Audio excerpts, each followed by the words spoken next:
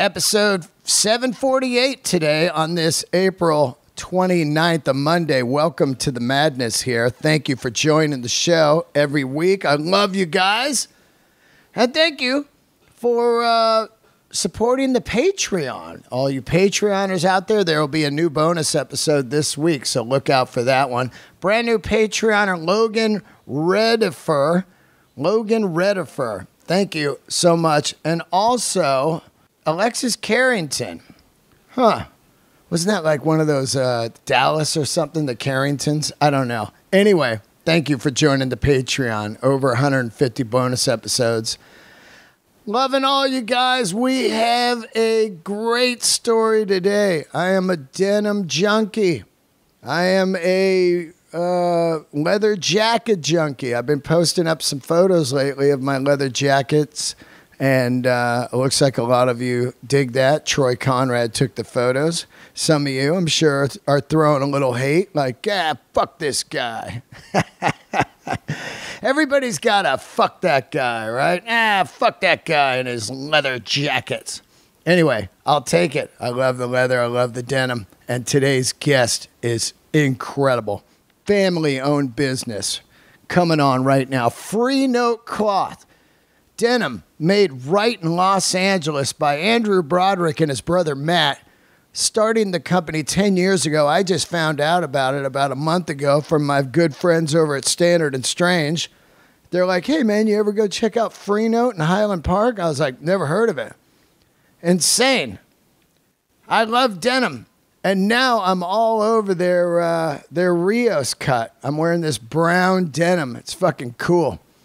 Kind of has a, a look of like an old Ben Davis growing up in the San Francisco Bay Area. I love me some Ben Davis. Anyway, this episode is great, man. I mean, I can't even imagine how rough it is to start a small business in this uh, in this fucking world these days. Brick and mortar, opening a store, making patterns, finding Japanese denim, and and putting it together, and then hoping that that people dig it in the world of a, a million denim brands. But I'll tell you what, it's really uh, the people that are involved with Freenote that just gives it this beautiful heart and soul. So uh, I hope you enjoy this episode. It's a combo. I'm putting it on the Grail today too. The Grail is uh, my podcast where I feature artisans and small businesses and stuff, but I figured I'd put it on Let There Be Talk also because I think the Grail, I love doing it, but I'm so fucking overworked. I'm like, hey, I'm going to start a network during COVID. And then it's like, holy shit, can I just get five minutes to myself? But what I'm going to do with the Grail is every time I have somebody on, I'll put the episode automatically on the Grail, but I'll also put it on Let There Be Talk. That way, if you want to just only hear all of the artisans I've had on, you can just go to the Grail, and um, I think that's a cool a cool thing to have, like a library of all these incredible people, like Brian the Bootmaker or Grover Jackson. His story was insane. Freenote Cloth, Self Edge, Standard and Strange. Uh, you know, Jesse James, Choppers, whatever you're into, you can go over there and find it all. Leave a review there if you want please leave a review on uh, Let There Be Talk also and check out the uh, YouTube. I can't thank you guys enough, like I said a million times, for tuning in. And uh, I really hope that you enjoy this episode. Also, Andrew has provided a code Delray20, capital D E L, capital D, and then regular E L R A Y, number 20 and you can get 20% off all this week if you just uh, go to their website or you can call them or go in the store and just say hey i heard the episode. I'd like to get 20% off on some denim or boots or anything they got in there. It's a fucking great store so delray 20 at Freenote cloth on instagram and um, once again i can't stress enough this is not an advertisement this is me fully supporting small business and amazing people that are out there creating great, great stuff, man. Shit that you can wear for a lifetime, which is very rare these days, you know? Very rare in the Walmart world. I always tell people, they, ah, that fucking shit's way too expensive, man. Well, if you buy 10 shitty pairs of pants and they all fall apart, it's the same price as one pair, uh, you know, one pair of fantastic Japanese denim, and uh, it's gonna last you forever and look fucking cool. You're gonna love them. Made in Los Angeles. That is so fucking rare. You know, there's people here like Good Art making great stuff in Los Angeles. Freenote Cloth, like I said. Um, Brian the Bootmaker. There are people out there making shit in LA and doing it right. Okay, tour dates, ddelray.com. I've got Minneapolis coming up, Acme. I've got uh, Springfield, Missouri coming up at the Blue Room. I have uh, San Diego coming up. Oh, I'm looking forward to this. I'm going to be running two shows one night, throwing down an hour. Throwing down an hour, my friends. And uh, all the tour dates are at deandelray.com. And I'll be at the Hollywood Improv tonight. Hope to see you guys out there. And um, okay, I think that's about it. See you at the Hollywood Bowl. Candles are lit. See you in San Diego on May 10th. Here we go. Andrew Brodrick, owner of Freenote Cloth. Candles are lit today. See ya. All right, here we are, another episode of Let There Be Talk. This will be a combo uh, episode with The Grail also. I do another podcast called The Grail where I seek out uh, people that uh, make the holy grail of stuff. Say uh, denim, guitars, stereos, choppers, anything. But uh, I'm going to release this on both. Let there be talk. So it's a collab with my network, Cactus Radio. Guest today from Freenote Clothing. Introduce yourself, my man. My name's Andrew Brodrick. Uh, started Freenote about 10 years ago. Happy to be here with this podcast. I don't know if I should be on the Grail part. Maybe put me on the other one. no, no, man. You, have got some fucking great stuff. I'll tell you an interesting thing about your shop is I am. Uh, uh, love Highland Park. I'm an East Side guy. You know, uh, I love Los Feliz, Eagle Rock, Highland Park, uh, Echo Park, all of that. And I, I, I'm always in those neighborhoods, eating and seeking out stuff. Never had been to your store, and I am a clothing freak and did not know about it until I was at Standard and Strange. My good friends Jeremy and um, Neil. Neil and I love those guys, like deep, deep love for them. And I was in there a couple weeks ago. And I was out in New York doing some shows, and I said, you know, um, I'm at this point in my life now where I want to get a couple different fits, uh, cuts. That's right. And and I thought about it for a long time. Over my lifetime, I've gone through some cuts. You know, the '70s, the bell bottom and then and then it was the 501 in the 80s when I was in high school. That was huge. Then I got into the boot cut, the orange tab Levi boot That's cut. right. That's right. Then I got into the slim jean, the skinny jean, all of them. it's a trippy thing. There are some people that never change the cut. I know a guy that's bell bottoms till the day he dies. I don't even know where he fucking finds them. You know? Maybe it kicks in at a certain age where, like, if you're of a certain age, then that's it. You're like stuck to Yeah. that fit for the rest of your life. I, I don't know what age that is, but you just c- click in and you're like, all right, that's my fit forever. So I was talking to Neil and I said, you know, um, I was wearing this one jean and he goes, he was so funny. He goes, he, he likes to break balls with me because I'm a comedian. You know, so he's all, you know, I'd like to see you in uh, an adult jean. well, he, he's quick witted. You're not Yeah. as, uh, clearly not as quick witted as you, but he, he's going to try to keep up. But that's that sounds like the Neil we know.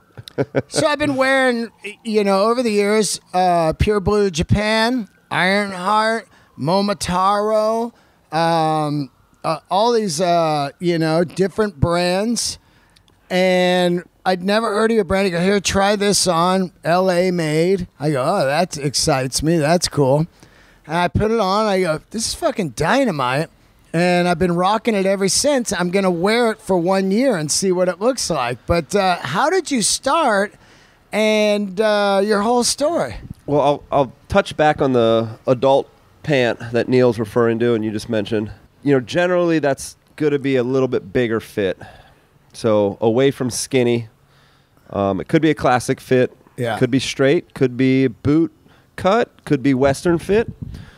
But it is going to be a bigger fit. It's not going to be a skinny pant, and I think that's what Freenote. That's what we're good at. You also brought up. You didn't hear about our shop. That's what we're not good at. We are not good at marketing. Uh, none of the brands that we are blessed to hang out with are very good at marketing. We're just try to be good at making product. So, ten years ago, my brother and I, uh, Matt Brodrick, we were, I guess, becoming adults. So it's kind of cool. You mentioned adult pants and adult clothes. We were ten years in action sports.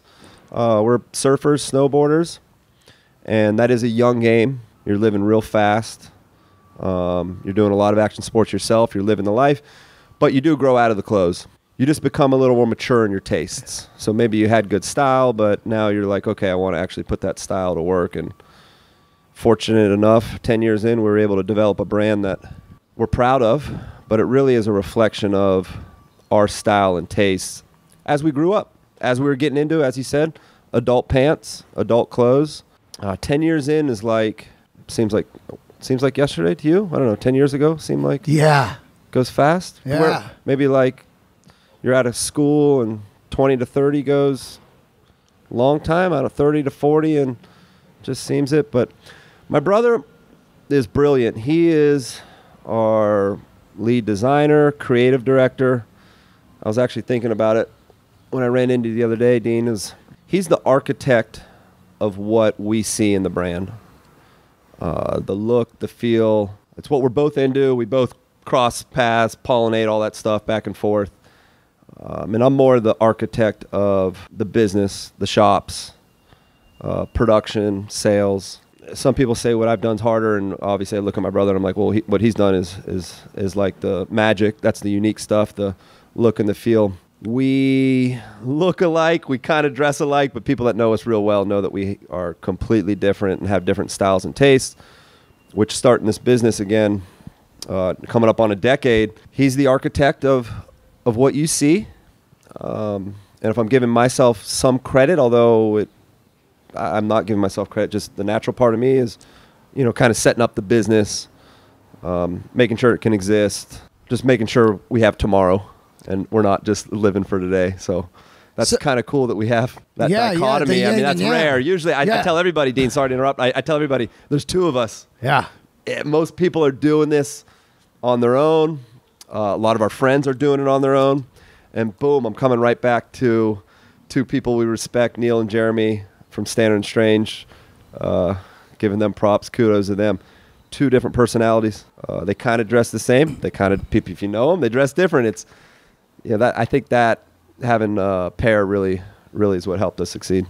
Well, I think that'll help because I always see the downfall of a right. boutique brand or a designer or whatever is it's usually the artist guy. He's the artist and he's trying to do the business and he doesn't understand how to deal with people. So he'll be like, "Get the fuck out of here! That's right. I make them how I make them." That's right. That's right. So and, gotta and, and Matt's people. not like that, but to that Right, extreme, to right. that extreme, you, you got to have that. You got to Yeah. have that pair, and I, you just nailed it on the head. That, and it can go the other way too, right? It can be like me. I can be like, uh, I'm not. I can be like a dorky business guy, and uh, you know, not know what what needs to look good. I hope I give myself more credit than that. No, it's just we have this two-headed company. We get along extremely well. Uh, we love each other. Uh, we're friends inside and outside of work. We do a lot of things in common outside of work. But when, when we're in work, when we're in the mode, uh, which is a lot, eh, we're working all the time. We still grind after 10 years. We're, I was telling someone last night I'm working as hard now as we did when we were launching the brand, traveling, and playing for an audience of one, trying to get people to like this stuff. We are doing two different things at work. So Matt and I are fortunate to have each other, but as a brand, we're just it, it wouldn't exist without uh, you know we lean on each other so much. So all respect going back and forth there. So, what was the original vision of the business when you guys sit down? Was your brother into Japanese clothing? Because I've always been into it denim, boots, jackets, the real McCoys, all these companies. What was your brother wearing it? Were you wearing it? Or what was the idea of the company? Yeah, both. So, when he was working on the design side at Volcom, uh, they used to work with Cone Mills. Oh, yeah. You know, that's that's that's the spark. That's all it took. Seeing a roll of selvage denim. Now at the time they were making what we'd consider more of a price point product, maybe like a hundred forty dollar jean, hundred twenty dollar jean, where Volcom typically makes about an eighty dollar jean. Does that make sense? So they're making a, a nicer jean out of Cone Mills, and that was the spark. Uh, music.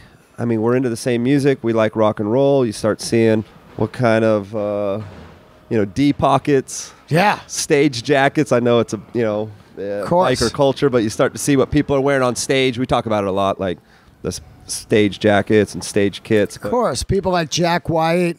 Uh, That's right. People like the Avett Brothers, uh, you know, Jakob Dylan Wallflowers. Everybody's into like cool jackets. And, And- uh, also, you know, Kings of Leon was hot, you know, wearing jackets, strokes, wearing leather jackets. and they're very intentional about it. Like it's not just like some stylist is given. That it doesn't work like that. These guys are obviously care more about their music than anybody, but they also care about their style. So that triggered it for Matt and I.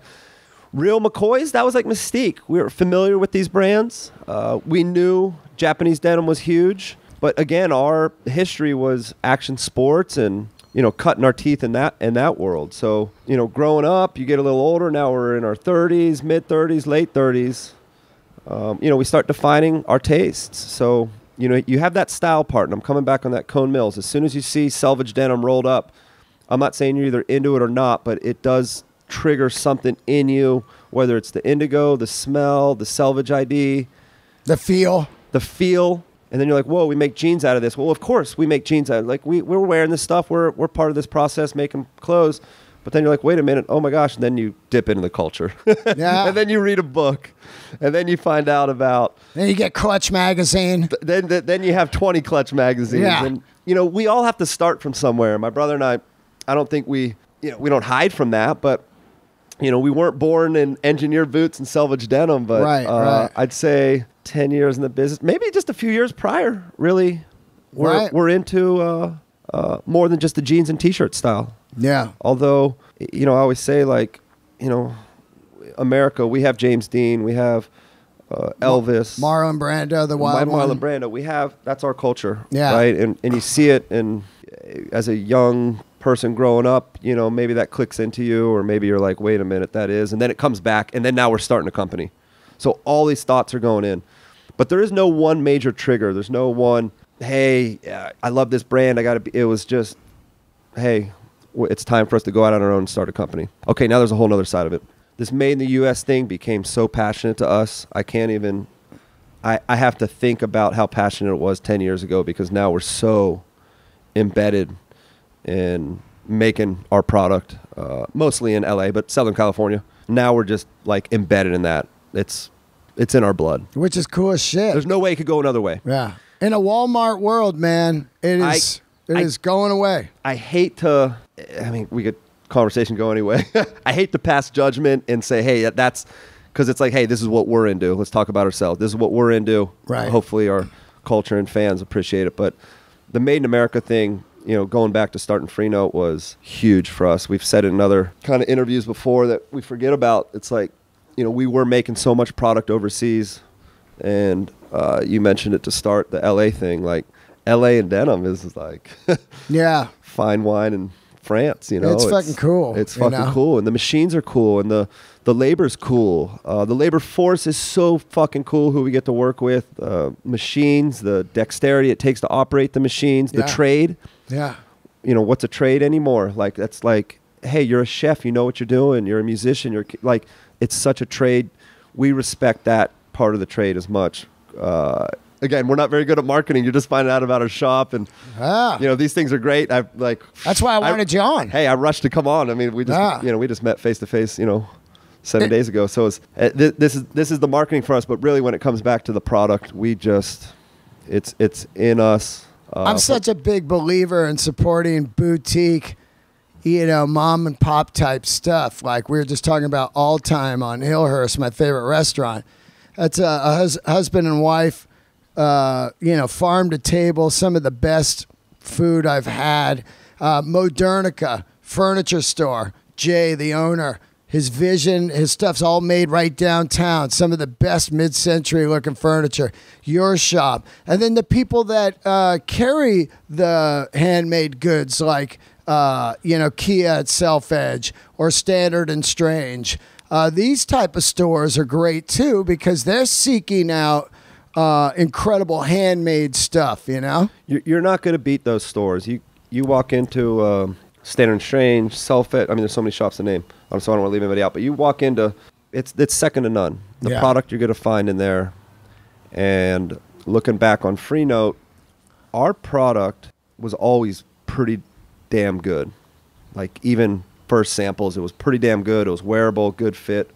But where it is now, and I am very OCD about looking at other people's product. Yep. And I'm very respectful to it as well. But I even see Shortcomings. no, no, no. I Oh. see how much better they've gotten. Oh yeah. I see. Yeah, okay, yeah. I see the shortcomings when we walk out of our life and say, okay, out of our shoes. Okay, now we're going to you know whatever somewhere in the mall. That's where I see shortcomings. That- that's what I'm talking Hey, you're gonna about, spend yeah. two thousand bucks on this. Look, that's not going to keep you That's warm. It's going to fall apart. It's going to rip. I can't believe you're just paying money. I get it. People are so wealthy. They just you know buy everything in sight. But Yeah. what I see walking into the stores now, and I that's my part of the job. I'm in the shops all the time. I see the quality of product Yeah. has even gotten better. Yeah. So Oh God, yeah. you know, you may have a pair of boots from five years ago that are your favorite, ten years event, but you see some of the guys, and it's because the trade's gotten so much better. like Yeah. it was lost, Yep. '80s, '90s, 2000s was lost, and it's and it came back. I'd say, you know, a lot of the a good 20 years ago. Um, and then so now you have people more our age. Okay, you're getting older, and we're like saying, okay, I've been doing this trade now for 10, 20 years. Like I didn't just start it last year. Now I'm getting better at it. All the product you mentioned, you start seeing that in the shops. It's like second to none now. Yeah, because yeah. it's gotten so much better. Can it get even better? Look, we, you know, just Well, maybe, it- but it's it- gotten so much better even in the past decade. Also, it's amazing when it can get better because the people get obsessed with it that are creating it. Say a Brian the Bootmaker or John Lofgren the boots, or you guys finding uh, better denim, uh, finding different types of denim, different dye types, everything, different cuts. It's always going to change uh, for the better and move with the people's taste. Like, look, I went from a slim jean, now I'm in a straight slim, which is still slim because I'm short. When you're short, you don't want a big old fucking jean because then your legs look like, you know, they're two feet long. But I don't want to look like a popsicle either, you know, two It's- sticks and a fucking, you know. It's in, it's again adult pants. You got to Yeah. fall somewhere in between. Now, let me ask you so, when you first start, you know you want to make denim. Is it pants first? And was it one pair of pants? And, and who came up with the pattern? Did you get an old pair of pants and cut it open? How did this happen? Yeah, so we we had three fits that we started with. So two questions there. One, we we wanted to start with a few fits. Uh, some people can wear a lot of fits. Some, and some people can only strictly wear. It's all about the thigh to calf to waist ratio to height. You were you know, we were talking about. So we wanted to give some variety. Uh, I don't know what the split would be. I'm I'm lucky. I can wear a lot of fits. Yeah, same. I wear Uh, two of yours. I wear the Rios and the uh, Alvi. What is it? Avila, Avila, Avila. Those are the two I wear. And so when we started, and even back then it was a little slimmer, so we didn't have some of our bigger boy fits that we have now. So anyway, sorry, we're starting with the fits, and we're like, okay, well, we need more than one, and we're working with denim, and then boom, you go right into chinos, you go right into shirts, you go right into t-shirts. Uh, my brother and I knew we wanted, I we don't like using this word, but a bit of a collection. Yeah. Just something people could sink their teeth in. I think going back, we probably would have started more narrow, but who the hell? I don't know. We, we're so stoked where we are now because we are known to have a pretty big collection. We make a lot of product, small quantities. Yeah, big we time. make a lot of product. You went to the shop. Yeah. A lot of product in there, small qual- quantities. So stuff will be limited. It'll come in and out. But now we have the ability with the factories to make, you know, a lot of different fits. Um, okay, sorry. Going back to getting the brand going, you have to get a couple fits to start selling to the shops. On the pattern side, you don't realize you're pushing things out, and you're like, "Oh my gosh, I should have tweaked it a little more." So Right. we had a we had a full time pattern maker that came from uh, Volcom. He was with I think St. John yeah, by trade, amazing Vietnamese cat Leo, and he was a pattern maker. Now being a pattern maker for different companies, there's different tastes and feel. So like maybe you're making suit pants, or maybe you're making like an officer trouser right. slash pocket pants. It's all It's all fucking different. It's all fucking different. And then you really got to get the feedback from the customers. So that first couple years, we were just stumbling a lot. However, we started so wide that we were able to kind of become jack of all trades. We care about our t-shirts as much as our denim now. Not a lot of brands can say that. Uh, Western shirts, we make we make like six different Western shirts. They all have different fits, different shrinking patterns. I mean, we get like every fabric has different shrinkage. You're applying that. Every fit is different. Uh, we're making Western shirts to be tucked in, shirts not to be tucked. It just gets crazy how you know kind of diverse the line is. But starting out, we had some pretty solid patterns uh, from a professional pattern maker, and then boom, after a couple years, we just start tweaking them, torquing them. A lot of times, open up the hips, opening up the leg openings.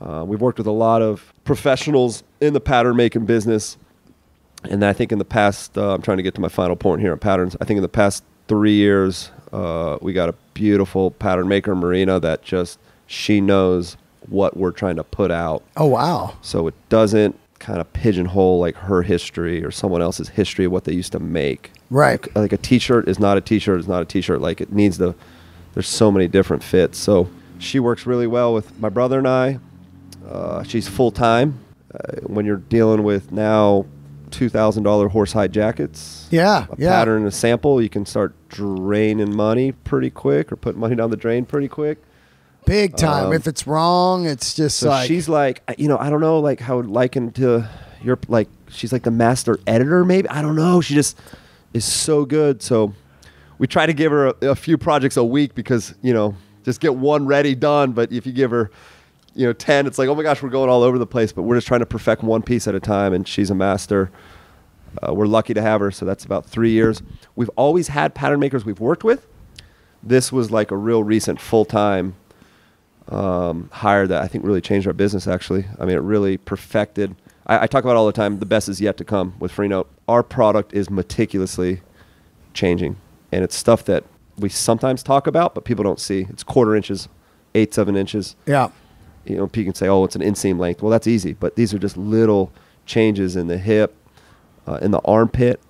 Um, we're working with diff, uh, the Well, armpit forearm, is everything. We got to drop armpit the a little bit Yeah, armpit is vital in a jacket. People don't understand. because you want it to look good. Yeah. But then if it's too dropped, you can't move it up. So you got to be comfort. It's that balance of Yeah. comfort and looking good. And let's face it, we're we're making clothes that look good. There, there's no doubt about it. I know everything about leather jacket fits, man, and uh, I've I've been dealing with it for forty years. And the smaller the armhole, the better the arm's going to look up here. It's not like a football jacket, you know, not a Letterman jacket, big old poofy arm up here. But the smaller the hole, the more uncomfortable it's going to be. So you got to find this middle ground. Yeah, we we say it. I, we're not uh, and you know envy what you do and how charismatic you got to be, but. Coming to the jacket part, you're also on stage. You're like, you don't want to get sweaty up there. you're Yeah. like, it's just a, it's a tight situation, right? Yeah. You know, so you start having that tight armpit on there, and yeah, maybe But it looks the best. but it looks the best. So that's the balance. I know. we we I don't want to say we grapple with that because we, we kind of get it now, but that's a huge balance we do. Is does it function and look, and can we kind of blend that together? Going back to our pattern maker, she can nail that. She can quickly work through projects we have so that you know we want to put out a lot of product. We can do that. That's a, that's an ability not a lot of brands have um, at their disposal. And gosh, it's just we're so so stoked to be able to make so much product.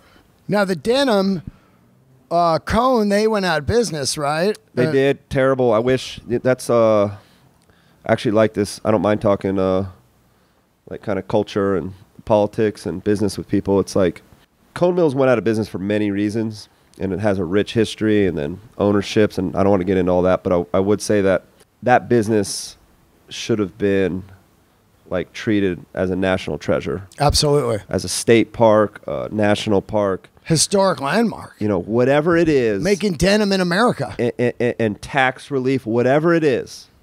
I mean, you know, you don't want to tote the line on like who's running the business, but that tough to lose that. So that was, I mean, it wasn't a blow so much to us because we were coming up, but some of our buddies and brands they were using like majority cone mills. Oh yeah, like uh, poof, New York. Jean Shop. That's right. And, uh, you know, Tellason was using a lot, and those, you know, it was, it's a beautiful fabric. Uh, everybody pivoted and is fine now, but I think if you asked everybody, and Freenote included, um, some of the fabric they, they their 1968 cone mill denim, it's kind of like a rich blue, midweight, 14 ounce denim. Um, some people didn't like it, but you're just like, it's such a classic jean. It's just, but who can We can't even have it anymore. Right. You know, it doesn't even. It's like who cares who likes or doesn't. It just doesn't even exist anymore. And it's any way to like that should have been kept.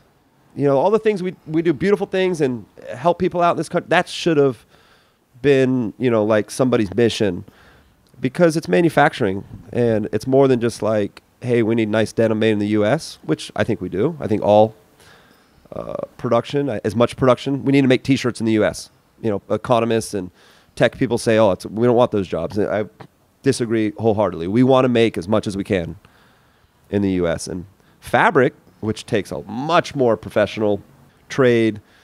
Uh, talk about dexterity and operating those machines. It's just gone. And some guys have done some things and pivoted out and great things, trying to keep you know it going or a little, you know. But it's just it's a shame that you know it's just gone and it's not coming back. Yeah. You know, yeah. was- So what denim are you using now? So we went to uh, Matt's going to Japan in a month, but we went to Cone Mills a few times when we were starting the company. And we had all these cool things developed. Again, this is ten years ago. That pivot happened quick, dude.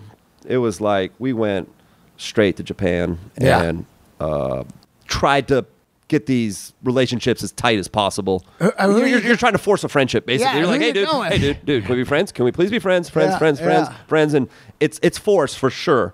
Maybe that's you know my brother's the art art side. I can be the business side. I'm like, come on, we gotta be friends. You you brought that up, like you're kind of using some intuition, and but we got in and and they kind of believed in Freenote. Yeah. They- they believed in it. Who did you go to see though? Okay, so because I- you go there and you you you don't know anybody. Does somebody bring you? Well, there's agents in the U.S. I gotcha. that represent different mills. Now we go direct, and I was just mentioning my brother is going there. Uh, he goes a, now he goes a few times a year, but he's going back there in a month just to work on literally a 13 ounce natural indigo denim. Like he's going over there to work on one fabric. Wow. We'll get business side of me's coming out, so 2,000 yards of it, whatever, 12 bucks a yard plus shipping. You know, so it's a big chunk and it's an investment. But when he's over there, he'll work on the next project. Yeah. And then I'll go back in six months and follow up on that project. So what we're trying to do at Freenote is have all of our fabrics be custom. Look, we share. We do not keep our toys to ourselves. We just want Freenote customs as much as possible. So we're doing custom plaids, custom heavyweight flannels. We're doing custom knits. I could talk about this custom knit we're doing in the U.S. with a stripe that's like crazy just getting it over the line. But going back to the denim, we're working with Kaihara. We work with uh, Yoshiwa Mills, and what they do is they kind of source out um, development to different small mills. Some of them are really small, little like eight machine mills. That's like a cool kind of like artistic thing. But we use Kaihara a lot. That's probably 50% of. Is that on the jeans that um, I got? The uh, not the Rios. The Rios is a You have a Yoshiwa Mills, Uh-huh. okay? So I'd have to go to Yoshiwa Mills, and again, it's more like a business, and they develop it, and then they send it out, contract it out to a different uh, mill that actually makes it. And these mills are kind of like no-name, kind of small mills, big, beautiful product.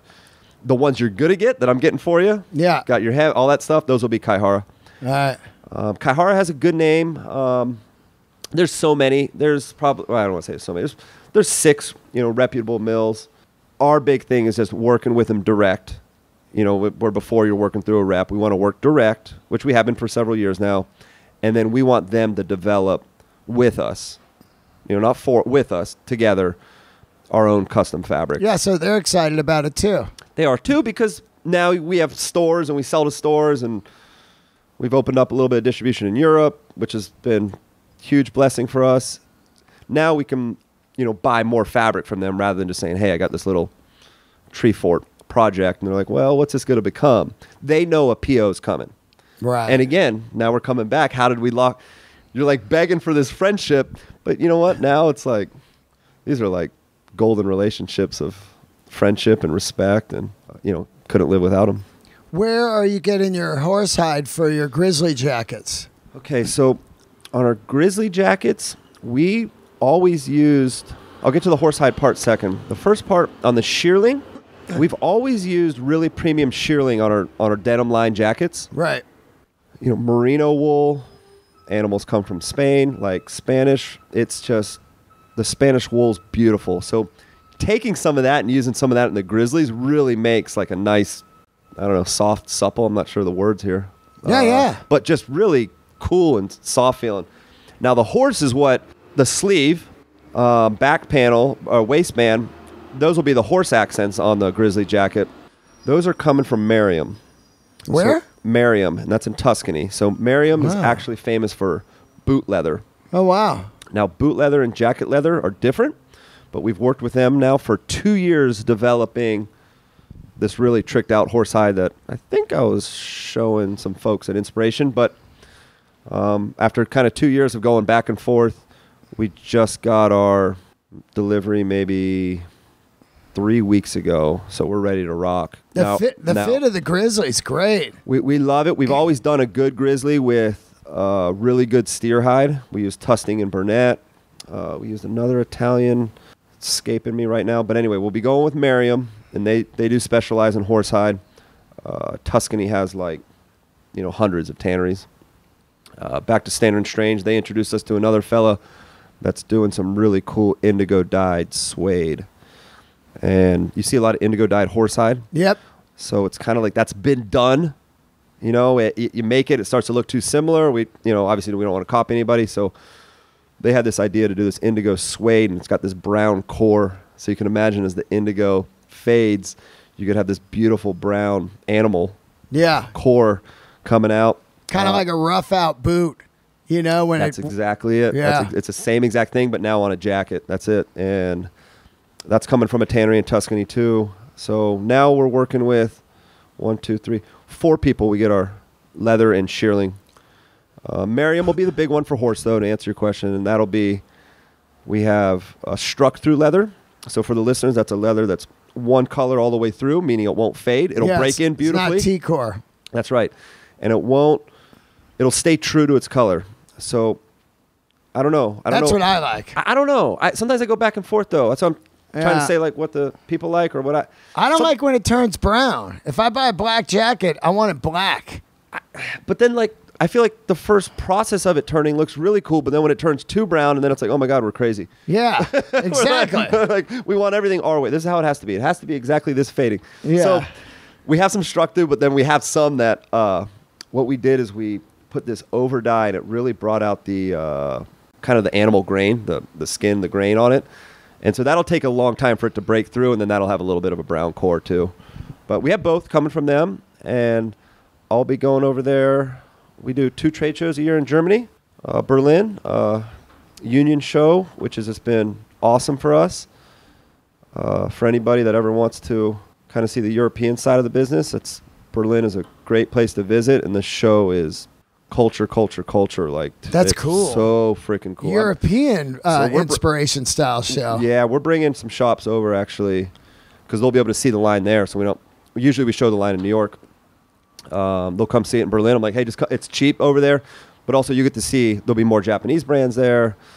Uh, meet some of the founders of the biz. See the cult. They dress a little more, uh, a little more charisma in the dress in Europe, and definitely a little more period specific, little more heritage for the listeners, a little more Like if they're wearing 1940s stuff, everything's 1940s with the officer Right. trouser. It's got the right officer boot, shirt tucked. You know, it's it's going to be Total tight. time travelers, I call. you got it. yeah, So- here comes Oppenheimer. that's right, and it'll be Oppenheimer. He'll, he'll be there. So, Yeah. so, um, but after that, I'll, I'll pop over to Tuscany. Uh, I say this all the time. My buddy that's uh, started Brixton. You heard of Brixton hats? And Oh, yeah. Brixton, yeah. Said Andrew, better than digging ditches. I said, that's I, I say it a lot. So after Berlin, I'll pop over to Tuscany to see the uh, tanneries. Um, it's, I like working face to face. I even have a tough time. You know, I wouldn't be, be able to do this not face to face. I got to see you and Yeah, yeah. Uh, Way better than Zoom. Zoom's a thing. You know, I didn't even know what Zoom was till like a couple years after the pandemic. You know, I'm like, what? And I'm like, it's, it's I like touching. You know, Oh, I gotta look at. I gotta look at the shit. You know, So I gotta feel it. I gotta put it on. And now that we're getting a little bit more of the product, Yeah. a couple more shekels, you got to make sure that shit is exactly how you want it Yeah. to be. You'll always get inconsistencies in the leather. We have no problem with that. I, I call it nectar. If you get a Freenote jacket, we cut the nectar. Obviously, you're going to skive it for the seams, but it is going to be just the best parts of the leather because we don't mind having some wastage. Of course. Because you know you're paying this sort of money for a product, we want to make sure it's, you know, to our liking. Um, yeah, that's that's that'll be a, that'll be a cool trip. I, I've never been over to Tuscany. I've never seen the tanneries. It's been all meetings in New York when they come over for trade shows and whatnot. So that'll be cool to kind of see the process and see what they're doing. We've done some jackets with Horween too. That's obviously closer and Yeah, I went to Horween. It's incredible. Chi-Town, and I'm wearing boots made of Horween right Yeah. now. So it's It's like- incredible. No, that and, and Horween is so. That's coming back to uh, cone. You know, Yeah. it's like what does it matter? I don't know. None of it matters. But this is what we want. Yep. You know, we don't. Uh, Oh, I see it and I go, this is incredible. a restaurant. We don't want to lose that. The Yeah. recipes. The, yeah, yeah. It's like The way they the way they tan that fucking horsehide there, it's insane. And it's just old. I mean, this is old world shit, man. Yeah, They've been making the NBA, From footballs to- basketball, to- to- to- to jackets. yeah, what the fuck? Well, how could you mix all? It's amazing. Shout out to Horween, man. I just love those guys. Major, and they're uh, five days a week. I'm wearing their boots. So Yep. That's easy. Yeah, Uh, yeah. Nick's a nice. Uh, I've gotten him some Freenote pieces. He's he's great. he's he's been um, great to work with, and I said, hey, I know these pants are a little expensive, and you get your shit. He's like, you don't know how fast I get stuff dirty. Like I can get stuff dirty, Yeah, even just at a bar yeah.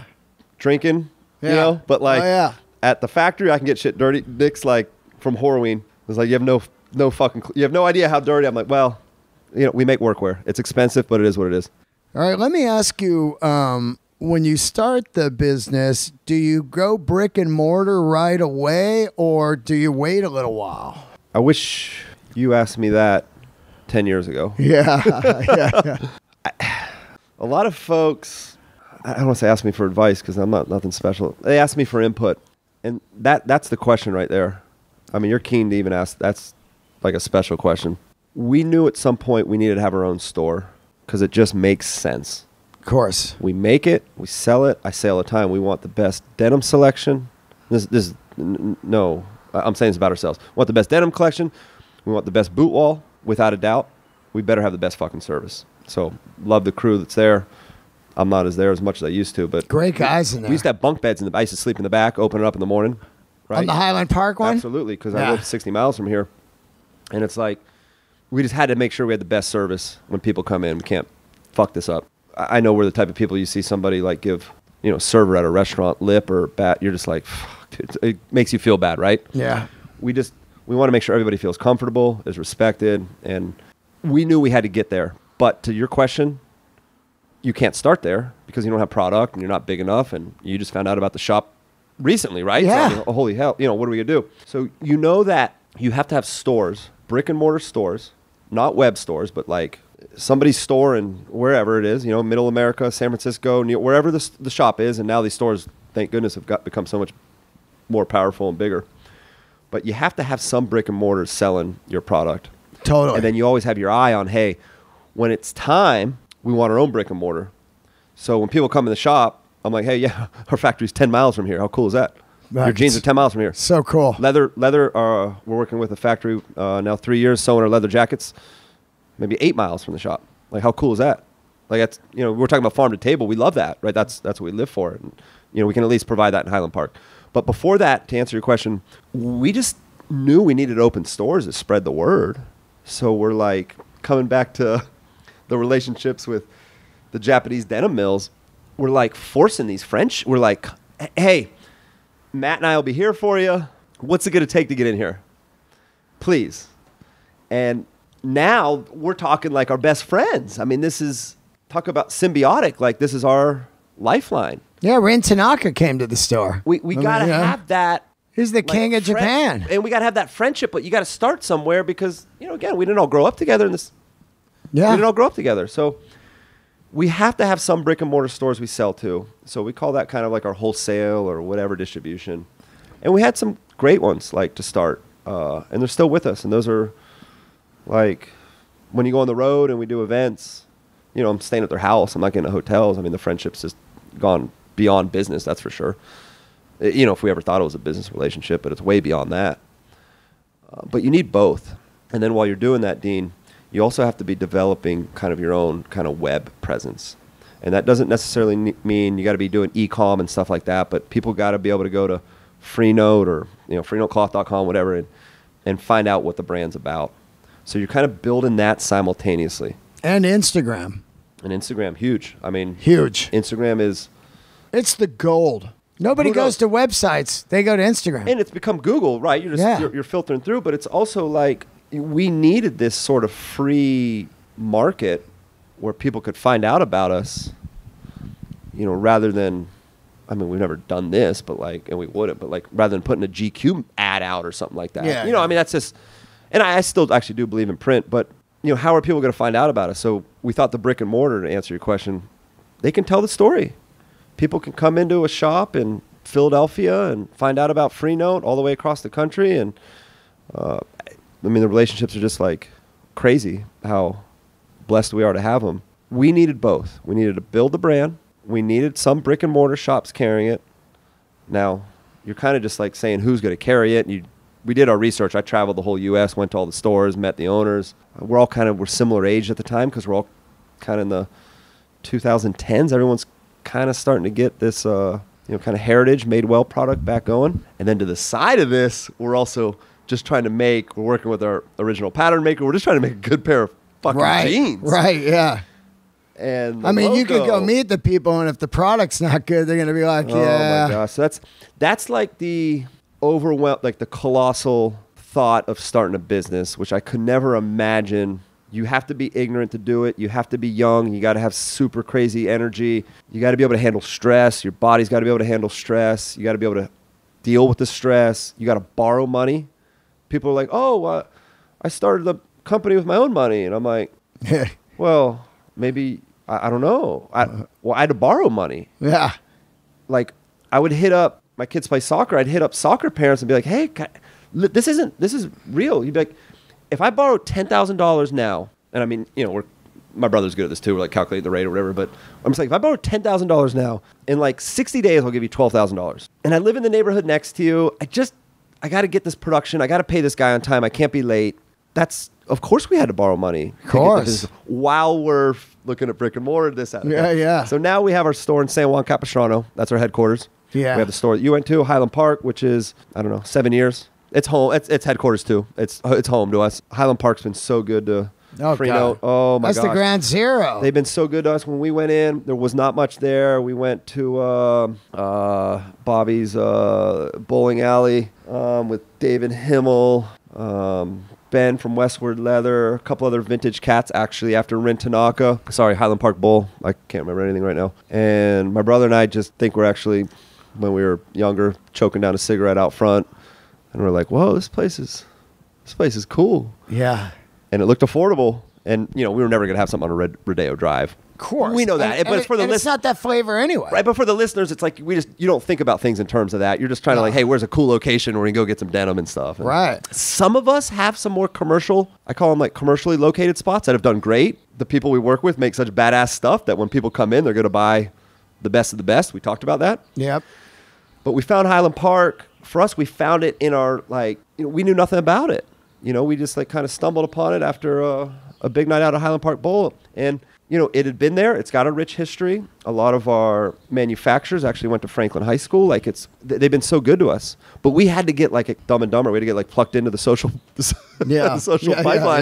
Yeah, yeah. Um, and even 10 years ago or seven years ago was rougher than it is now. I think it's hopefully kind of teetering where we'll see. But, um, you know, it's just, it's just one of those streets now where new things are popping up.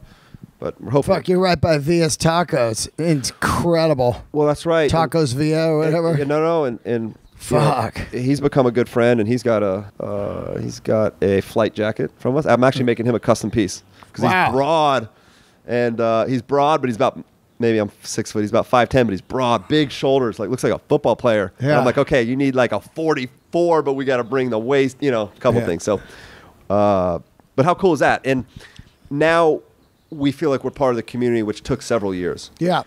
and we knew we were assholes moving in in the way of like hey we're outsiders like we stumbled upon this place what do you mean we found it? it's been it's been here for years you know it's just like we were very conscious and respectful to locals uh, even our landlords shop owners anything we what were, a great building, we, too. we were head down we were head down because I don't know how much you know Figueroa and Highland Park needs to be selling two thousand dollar leather jackets. However, the town has accepted us, and I say the town like the the the the neighborhood. the neighborhood, uh, the people, the businesses have accepted us, even like you know, transcending us as humans. Like yeah. we've we've been accepted there. I feel like we've kind of earned our keep and done cool stuff, and we've done clothing drives, and we've donated, and you know, we show up.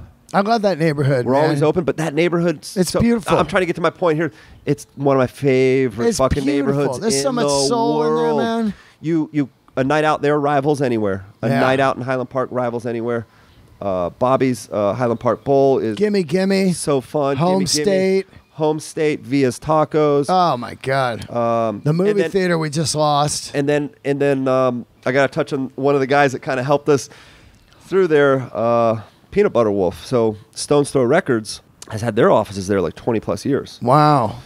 So Chris would always come in and he'd have a show, and he he's going to I think he was doing a DJ gig in Dubai, and it was Hawaiian, it was Aloha shirt season, and man, when he buys four Aloha shirts, we needed to fill that register. I mean, we just sleeping in the back, sleeping in the back, you know, Yeah, Like, yeah. you know, it's like we're just scraping by. So now we have a three, you know, team of three there. That's uh, amazing, but it's uh, we're just so happy the neighborhood kind of accepted us, but we knew that it might not accept us. We knew that gentrification is real. We knew that people walking by might not need a pair of $250 pair of jeans.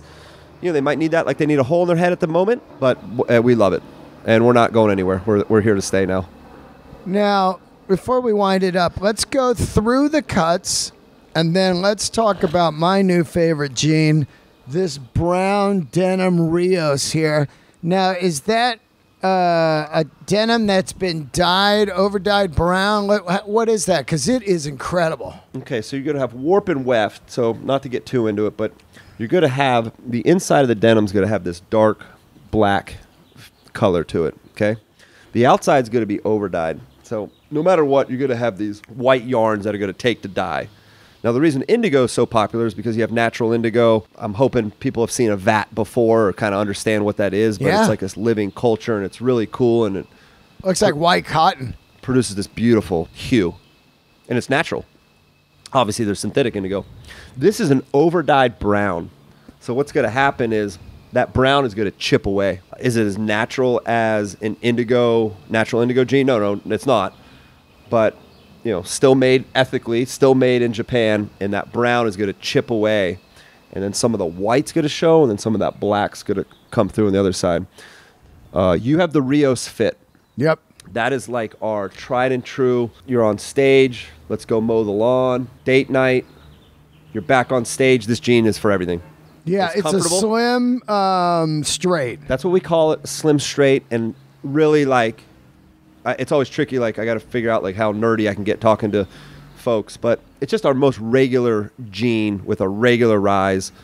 Looks great on the bunsies. Yeah. Looks great. It, it'll work with boots. Doesn't have a giant leg hole. It doesn't have a super small leg hole. That's it's right. seven and like a quarter or seven, right at seven. right at seven. Maybe when it gets up to 32, 33, you got to get closer to seven and a half. So Right. You double that to get the leg opening.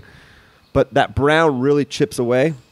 And then we do this cool. You're talking about how our product's getting better and better, or not our product. We're, we're trying to make our product better. How it could be getting better and better. This jean is kind of an example of that. Working with the factories, we do this in a light brown and a dark brown. Yeah. And the dark brown, when I say chip away, just kind of means it fades, so you get your creases fast. But it also, when you get this over dyed denim, it gets real starchy, which I like.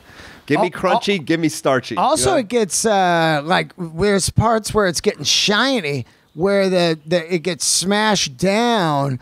I just looking at it, and I was like, I've only been wearing them a week. I'm like, look at this cool. That's my favorite look. That's Yeah. uh, people use the word patina for everything. That's my favorite look, and I almost say it. And again, it, you're putting something very subjective into words. Right? So what I say is, it starts to look leathery.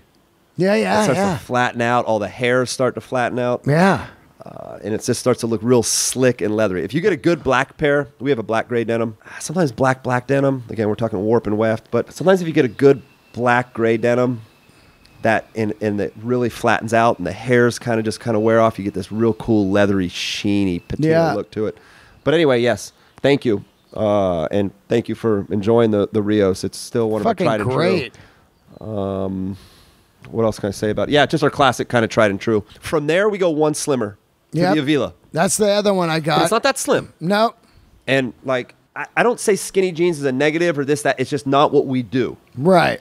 I have no problem with people wearing skinny jeans. I have no problem with people wearing elastane in their jeans, stretch. I, that's they're, that's just not what we do. Right. So we have one slimmer called the Avila. Depends on who you are. You can look like a tough, tough motherfucker wearing. it. I Oh, mean, they're looks- not like tight. you It know. looks great on me. I love it. You know, it's not super slim in the calf. It's not a six and a half leg hole. You know, um, but it's a good one. Seven. Yeah, it's So a- it's, a, it's an inch smaller. That's Yeah. exactly it. It's an inch smaller. It's you got it. perfect to wear with sneakers. You know. It is, and you can even, you know, it depends if you're wearing lower leather, like uh, maybe like a chukka boot. It could work with that, but you're not going to be able to wear a high shaft boot. No, with no, that. no. That's However, why I got two pairs. sneakers or even like you know high Yeah. top Vans look totally fine with it. Yeah, Jordan ones and the Avila, man, killer. And when you're on stage, Yeah. especially wearing comfortable footwear like that, a little slimmer tends to look a little more rock and roll. It, of course. Okay. Of course. And that's really a big. We have a big Western influence in Freenote. You kind of get this like coming out west, Americana, freedom, Americana, Pappy and Harriet's. There you go, and the heritage, Joshua and. Tree. and then you also have a rock and roll vibe. Yep. Which I try to lean that way, but it's like I can't sing, but like if I like, Yeah, I get it. I'd be wearing the slim, slimmer Rios, more rock and roll shit, black Yeah. leather jacket, like you know. Yeah. That's that's kind of the look I would The want Rios to is, portray. the Rios is dope.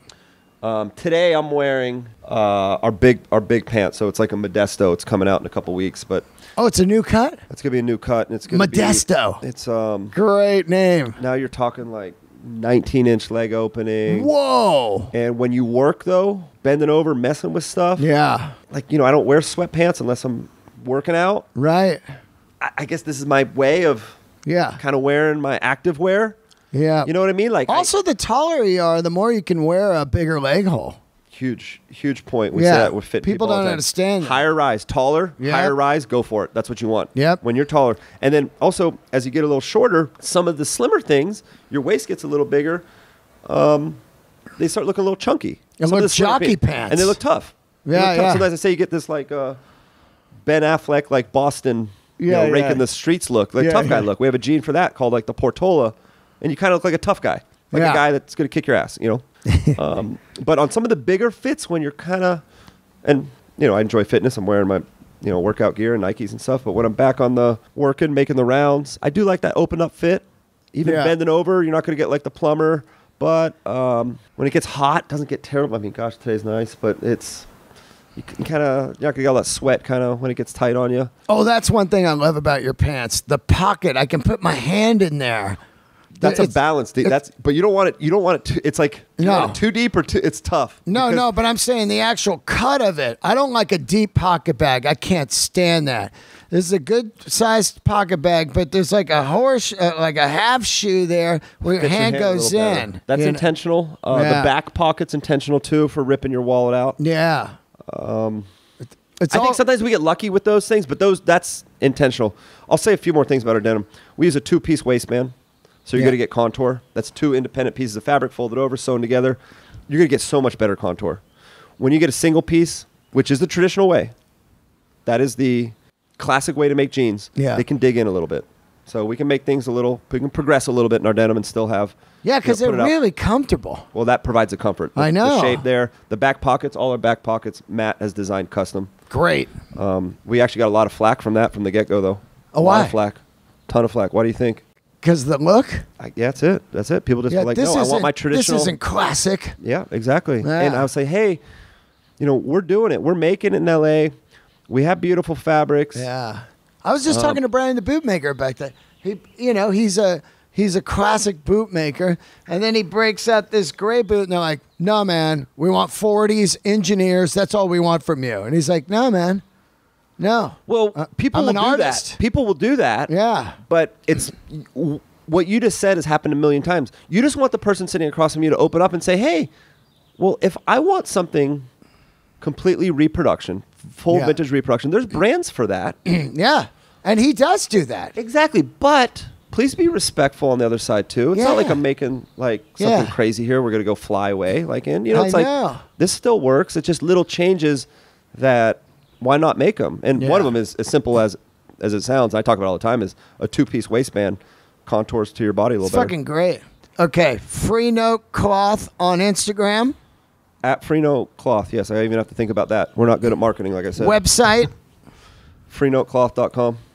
and it's in Highland Park and San Juan Capistrano. That's right. And I can't tell you guys uh, enough to this is not a sponsored show. This is none of that bullshit. I love this brand and I had to have them on right away. Made in Los Angeles, incredible denim. And if you see any photos of me lately, I've been wearing them. Uh, go on in there, say hi, or give them a call. They ship. Or, or go to Standard and Strange in New York or Berkeley or New Mexico and pick some up there or anywhere else. And thank you so much for doing the show. Hey, thank you so much for making it happen and having me on so quickly. Great Thank stuff, you. man. Thank you. Thank you. See you guys. Thank you.